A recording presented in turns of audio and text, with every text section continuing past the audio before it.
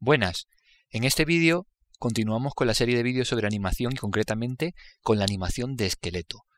Partimos del fichero tortugo09.blend, resultado del vídeo 41 donde creamos una animación con Shape Keys.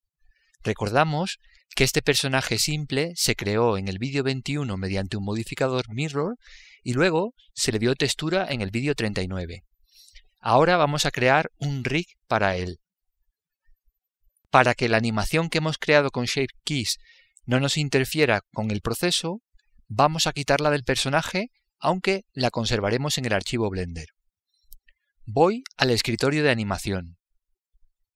Sitúo el instante de tiempo en 1, donde no hay deformación para que al borrar la animación se quede el personaje en la posición base. Ahora en la ventana Adobe Sheet en modo Shape Key Editor, me voy a la cabecera donde aparece el nombre de la acción. Reacción.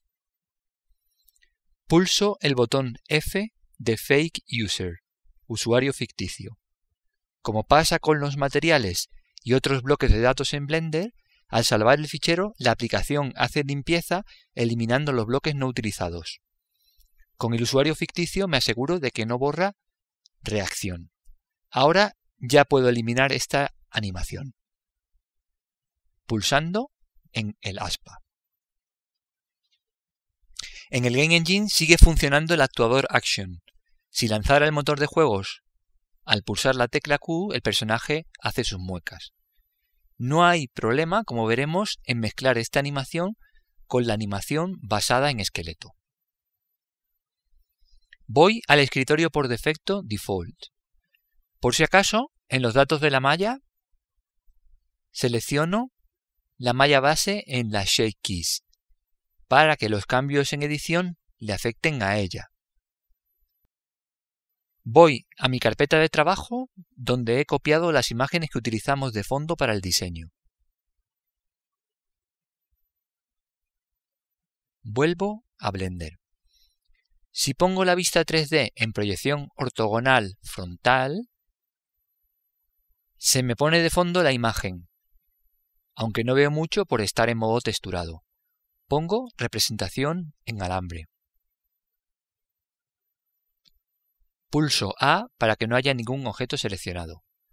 Veo en la imagen de fondo unas aspas color celeste que indican los lugares donde tenía pensado poner mis articulaciones.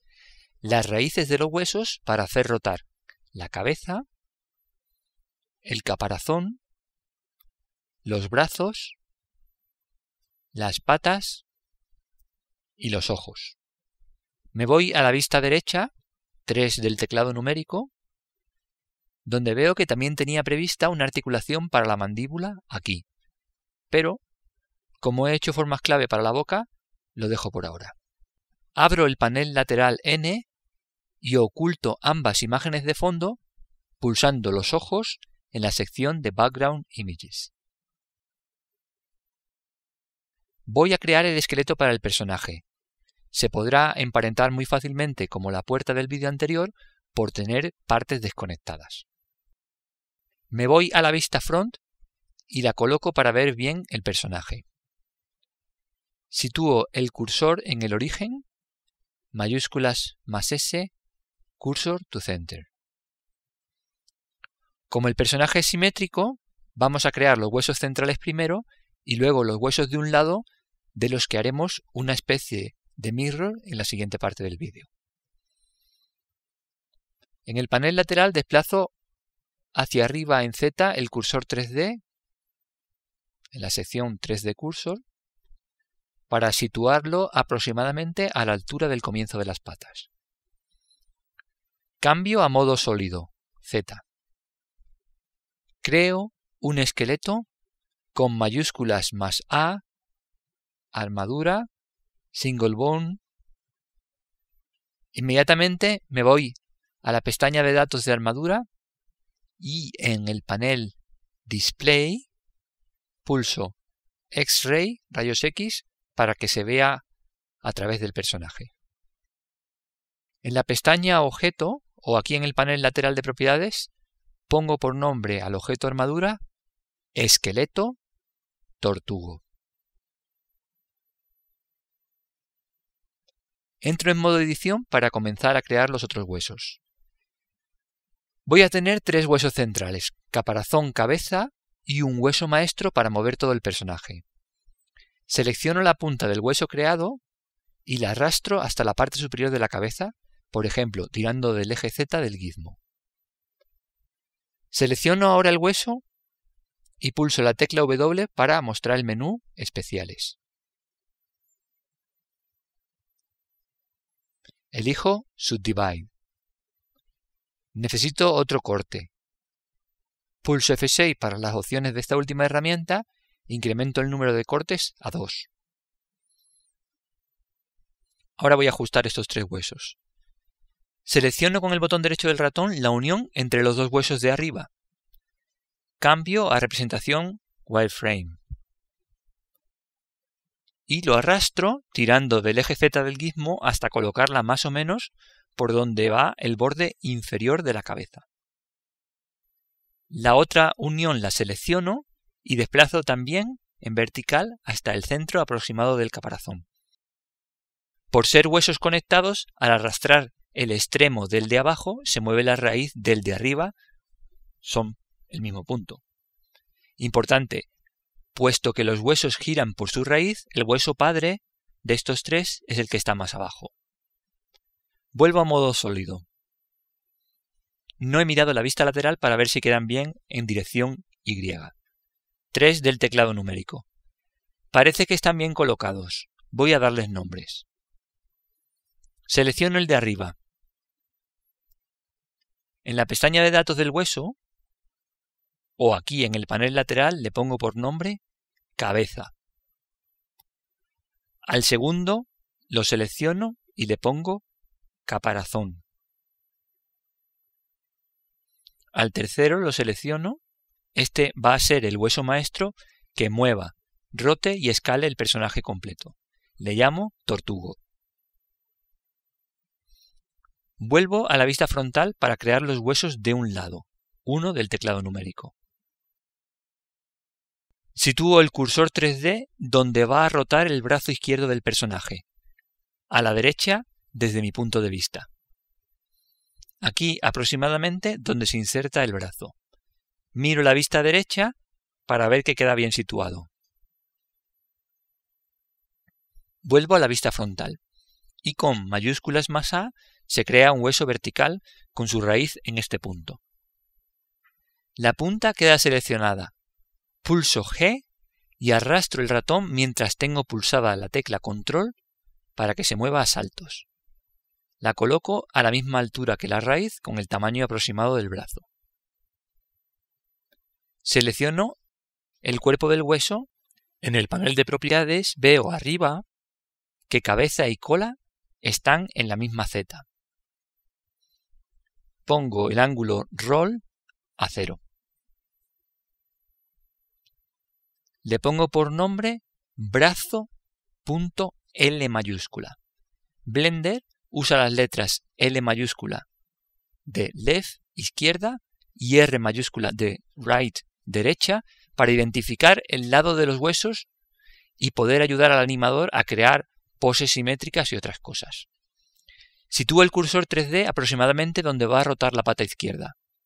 Voy a la vista derecha para ver su coordenada ahí si no está bien, pincho otra vez para ajustarla. Vuelvo a la vista frontal. Mayúsculas más A crea el hueso con su punta seleccionada. Que muevo en Z tirando del eje del gizmo hasta el extremo de la pata. Selecciono el hueso y veo en la pestaña lateral que está completamente vertical. La X y la Y son las mismas. Pongo su rol a cero si no lo está ya. Le cambio el nombre por pata.l mayúscula.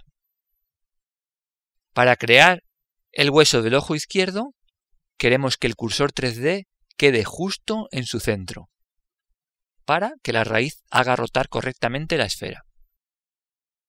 Voy a seleccionar el ojo completo en modo de edición y el centro de la selección será el centro de la esfera donde pondré el cursor 3D.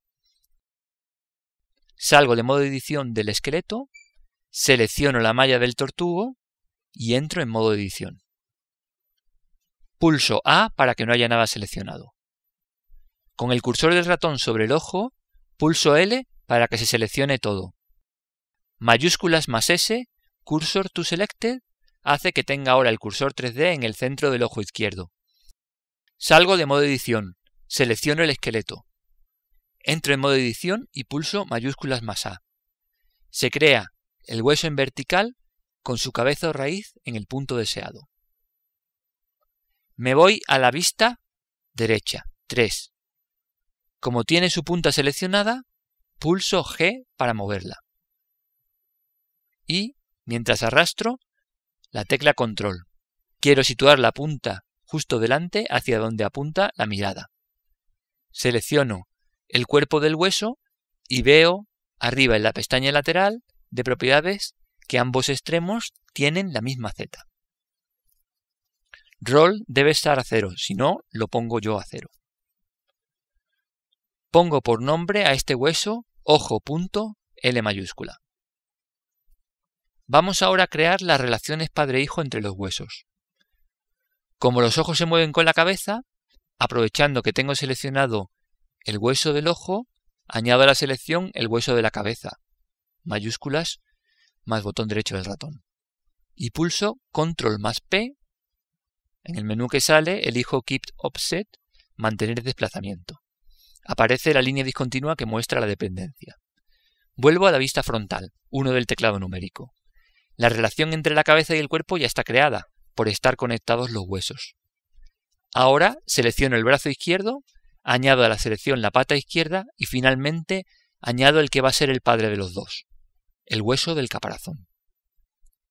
Pulso Control más P, elijo Keep Offset y ahora tengo ya el esqueleto básico, a falta del lado derecho. Salvo como tortugo 10.blend y continúo en el siguiente vídeo. Gracias.